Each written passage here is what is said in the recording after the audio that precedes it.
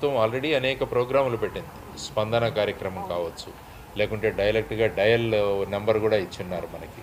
So వాటి ద్వారా కొన్ని సమస్యలు పరిష్కరించబడుతూ ఉండొచ్చు.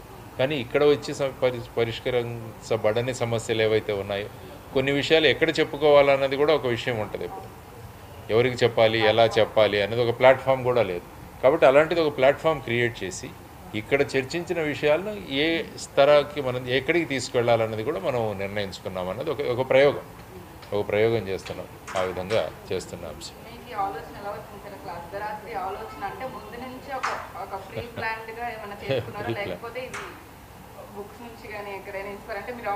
నేను మూడు అంశాలు చెప్పాను నేను. స్వాతంత్రం చెప్పాను జిఎస్టీ చెప్పాను నోటుబందీ చెప్పాను డిమానిటైజేషన్ తర్వాత ఏంటంటే ప్రజలకు సమయం ఉంటుంది సాయంత్రం అనేసరికి. ఉదయం పది గంటలకు పెట్టామనుకోండి ఆఫీసులు ఉంటాయి సపోజ్ సండే పెట్టామనుకోండి వాళ్ళు ఇన్ని వారం అంతా కూడా మనం చేసాం రిలాక్స్ అవుదాము ఎక్కడ పోతాములే అన్నది. కాబట్టి ఇప్పుడు ఏంటంటే వాళ్ళ వాళ్ళ తీరికను బట్టి. నేను లేదు కేవలం ఏడు నుంచి ఎనిమిది వరకు మాత్రమే అని చెప్పలేదు. ఏడు నుంచి పన్నెండు ఆ తర్వాత అయినా కూడా మేము కూర్చుంటాం ఇక్కడ అన్నది చెప్పడం వల్ల. ప్రజలు కూడా వాళ్ళ వాళ్ళ కంఫర్ట్ లెవెల్ని బట్టి వాళ్ళ వాళ్ళ తీరిక సమయాన్ని బట్టి ఇక్కడికి వచ్చే అవకాశాలు కూడా ఉన్నాయని ఆ విధంగా ఆలోచించి పెట్టిన కార్యక్రమం. అంటే ఇప్పుడు ప్రాబ్లమ్స్ చాలా మంది చెప్పడానికి వస్తున్నారు కదా సార్. రిజర్వేషన్ గురించి కానీ క్యాస్ట్ సిస్టమ్ గురించి కానీ ఇది ఎలా నిర్మూలించవచ్చు అని ఎవరైనా అడిగితే దానికి మీ- సమాధానం ఏంటి? అంటే. One of my my question also నేను కూడా పార్టిసిపేట్ చేస్తే అడుగుతాను ఓకే అడగండి. అంటే ఏంటంటే వాళ్ళ విషయాలు చాలా ఉన్నాయి మన దాంట్లో. రిజర్వేషన్స్ కావచ్చు లేకుంటే ఉన్న రిజర్వేషన్లు అందరికీ వర్తించకపోవడం కావచ్చు. ఇప్పుడు ఉదయ్ కుమార్ చెప్పిన సమస్య అది. సో దాని గురించి మనం కొన్ని విషయాలు ఏమవుతాయంటే కొంత ఏ లెవెల్ వరకు వెళ్ళిందన్నది కూడా మనకు తెలియదు. ఇప్పుడు ఆయన చెప్పిన విషయాలను బట్టి వీటిని ఏ విధంగా మనం ముందుకు తీసుకెళదాం అన్నది.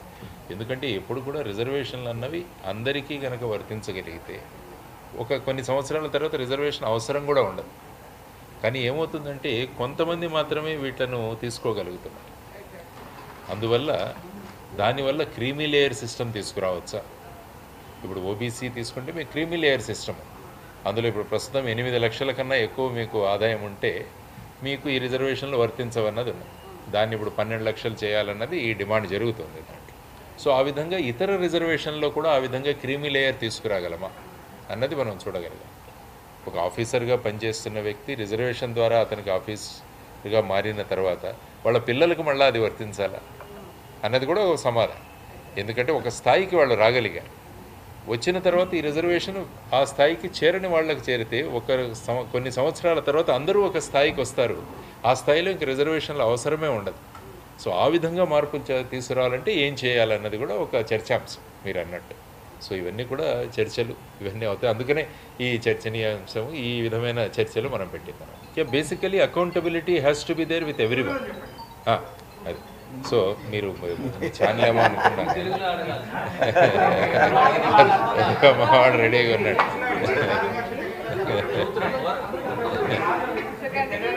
లేదు నో ప్రాబ్లం నో ప్రాబ్లం ఇది మైనర్ ఇష్యూ నో ఆయన ఏమంటారంటే పారదర్శకత తర్వాత వచ్చేసి జవాబుదారీతనం. ఇవి ప్రభుత్వంలోనూ ఉండాలి ప్రజల్లోనూ కూడా ఉండాలి. అందరూ జవాబుదారీతో పనిచేయాలి. అందరూ కూడా పారదర్శకంగా ఉండాలన్నది ప్రధానమైన ఇష్యూ. ముఖ్యంగా ప్రభుత్వాలు ఇంకా ట్రాన్స్పరెన్సీగా ఉండాలి పారదర్శకంగా ఉండాలి. అందుకనే మీరు చూస్తే రెండు వేల ఐదవ సంవత్సరంలో సమాచార హక్కు చట్టం కూడా తీసుకురంది రైట్ టు ఇన్ఫర్మేషన్ యాక్ట్ దాని ప్రకారం. కానీ క్రమక్రమంగా ఏమవుతుందంటే చాలా విభాగాలు రైట్ టు ఇన్ఫర్మేషన్ నుంచి వాళ్ళు బయటపడడానికి చాలా ప్రయత్నాలు చేస్తున్నారు. సో ఆ విధంగా మేము రైట్ టు ఇన్ఫర్మేషన్ ప్రకారం ఇవ్వాల్సిన అవసరం లేదు. ముఖ్యంగా ఏంటంటే ఇన్ఫర్మేషన్ అన్నది ప్రజలకు ఇస్తే అప్పుడు ఏమవుతుందంటే నిర్ణయాలు తీసుకునే ప్రభుత్వం కూడా రేపు ఆలోచిస్తారు. ఎందుకంటే మేము తీసుకుంటున్న ప్రతి నిర్ణయం కూడా ప్రజలకు చెప్పాల్సి వస్తుంది.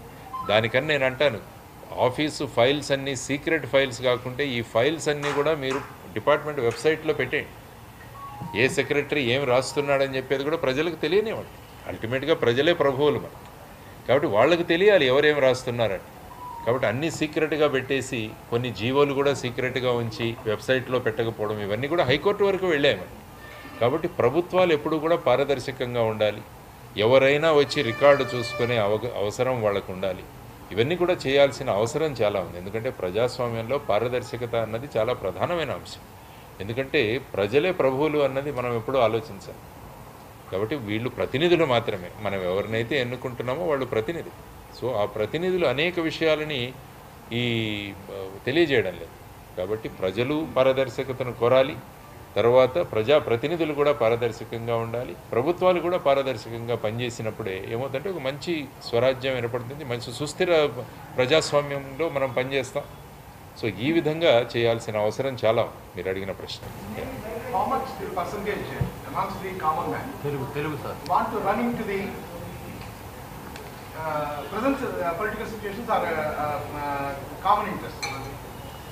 అంటే సర్వసాధారణ వ్యక్తి నేను రాజకీయాల్లో రాగలనా అన్నది ఒక పెద్ద ప్రశ్నార్థకం. అంటే రాజకీయాలంటే ఒక భూతంలాగా తయారు చేసి పెట్టేశారు. మీ దగ్గర డబ్బు ఉంటే తప్ప మీరు రాజకీయాల్లోకి రాలేరు.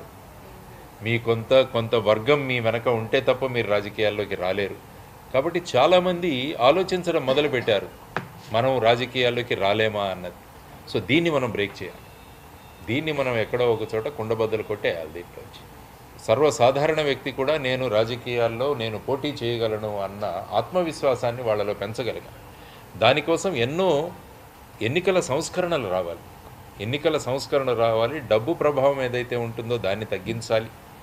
ఈ విధంగా మనం చేయగలిగితే ఫర్ ఎగ్జాంపుల్ మీరు చెప్తాను తెలంగాణలో ఇప్పటికే జరిగిన ఎన్నికల్లో కొల్లాపూర్ అనే నియోజకవర్గంలో నాగర్ కర్నూలు జిల్లా కొల్లాపూర్ అనే గ్రామంలో శిరీష అనే ఒక అమ్మాయి ఆమె బర్రెలక్క అని కూడా అమ్మాయి మీడియాలో ఆవిడ అమ్మాయి గురించి చాలామందికి తెలుసు.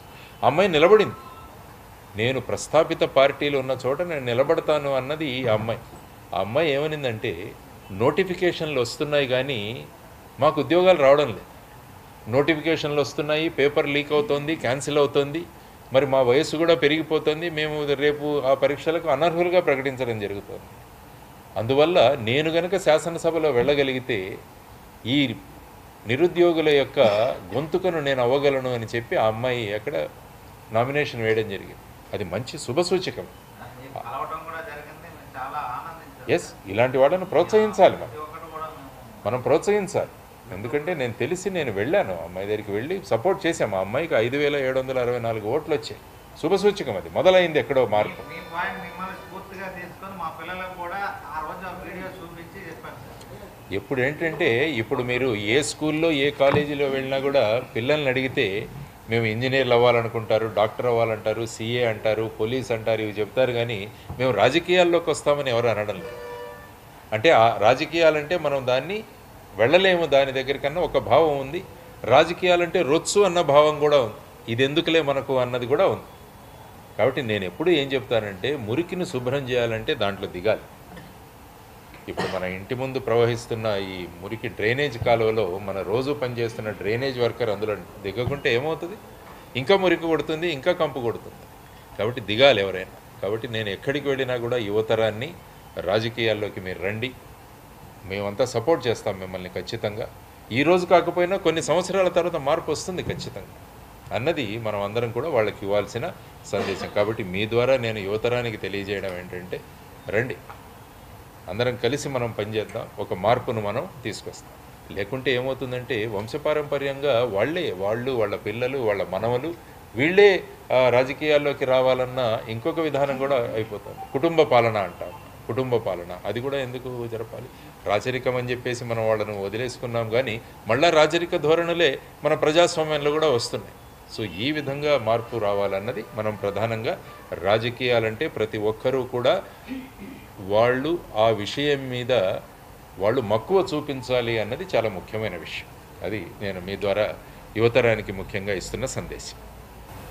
What made you to do this programme అంటే యాక్చువల్గా మీరు డైరెక్ట్గా ఇండైరెక్ట్గా చాలా ఇన్సిడెంట్స్ చూసి ఉంటారు ఫేస్ చేసి ఉంటారు ఏది మిమ్మల్ని ఎక్కువ ప్రలోభితం చేసింది? అంటే జనాల్లోకి వచ్చి ఇలా మాట్లాడాలి ఇలా ప్రోగ్రామ్ పెట్టాలి వాళ్ళ సమస్యలు తెలుసుకోవాలి లేకపోతే సూచనలు తెలుసుకోవాలని ఎందుకు అనిపించింది? నేను ఎందుకంటే మామూలుగా తిరుగుతుంటాను నేను అందరినీ కలుస్తుంటాను నేను వ్యవసాయం చేస్తాను నేను కౌలు రైతునే. కాబట్టి రైతుల దగ్గర నుంచి అనేక విషయాలు నాకు తెలుస్తాయి. తర్వాత ఎలక్షన్లు చాలా ముఖ్యమైన అంశం. ఎలక్షన్లలోనే మనము క్యాండిడేట్ల నుంచి అనేక విషయాలు వాళ్ళ దగ్గర నుంచి హామీలుగా తీసుకోవచ్చు. అందుకనే నేను ఏం చెప్తున్నానంటే ప్రతి ఒక్కరికి కూడా పార్టీలు మేనిఫెస్టోలు తయారు చేస్తాయి. కానీ నేను అనడం ఏంటంటే ప్రజలు మేనిఫెస్టోలు తయారు చేయాలి. గ్రామాలు మేనిఫెస్టోలు తయారు చేయాలి. ఇచ్చి ఈ క్యాండిడేట్లు ఎప్పుడైతే మా దగ్గరికి వస్తారో ఇది మా గ్రామీణ మా గ్రామం మేనిఫెస్టో మీరు ఇది చేస్తామని మాకు హామీ ఇవ్వండి అని ఈవెన్ మేము తెలంగాణలో జరిగిన గ్రామ పంచాయతీ ఎలక్షన్లలో వీళ్ళను బాండ్ పేపర్ మీద రాసివ్వమని కూడా మేము అడిగాం క్యాండిడేట్లు రేపు నేను ఎన్నికవుతే ఇవన్నీ నేను చేస్తానని బాండ్ పేపర్ మీద రాసివ్వండి నేను విశాఖపట్నం నుంచి కంటెస్ట్ చేసినప్పుడు నేను కూడా రాసిచ్చాను. విశాఖపట్నంలో నన్ను కనుక మీరు ఎంపీగా ఎన్నుకుంటే ఇవన్నీ చేస్తానని చెప్పేసి బాండ్ పేపర్లో ఒక రాజకీయాలంటే ఏమైపోయిందంటే మాయమాటలు చెప్పడం ప్రజల్ని మోసపుచ్చడం ఇదే రాజకీయం అయిపోయింది మనం అందరం కూడా రాజకీయం నుంచి రాజనీతిగా మార్చగలగాలి. ఇది యాక్చువల్గా ఇది రాజనీతి శాస్త్రం. దాన్ని మనం రాజకీయ శాస్త్రంగా మార్చేసాం.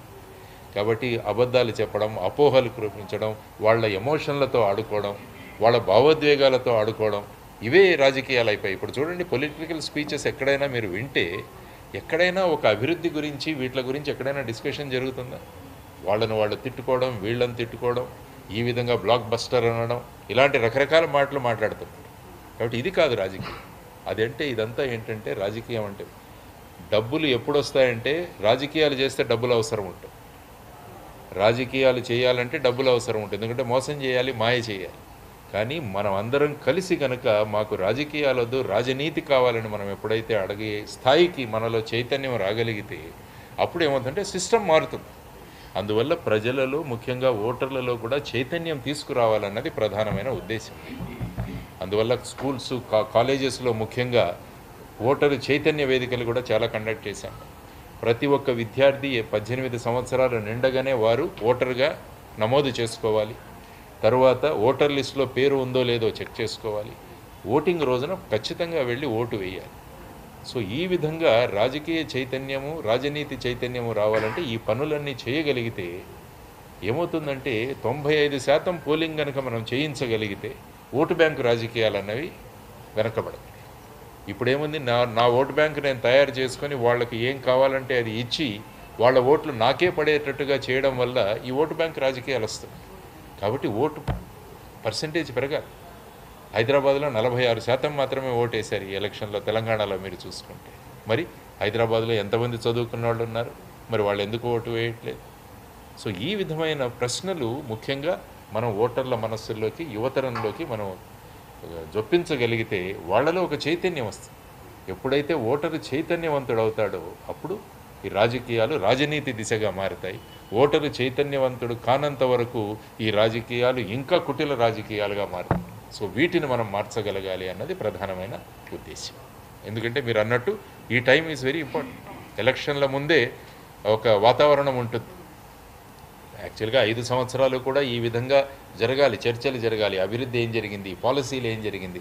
కానీ మన రాష్ట్రంలో కానీ దేశంలో కానీ ముందుగా ఎలక్షన్ల ముందు ఈ వాతావరణం కొంచెం వేడెక్కుతుంది కాబట్టి ఈ వేడెక్కిన వాతావరణంలోనే ఇటువంటి ఆలోచనలు మనం పంపించగలగాలి అన్నది కూడా ఒక ఉద్దేశం మీరు అన్నట్టు ఈ మీటింగ్.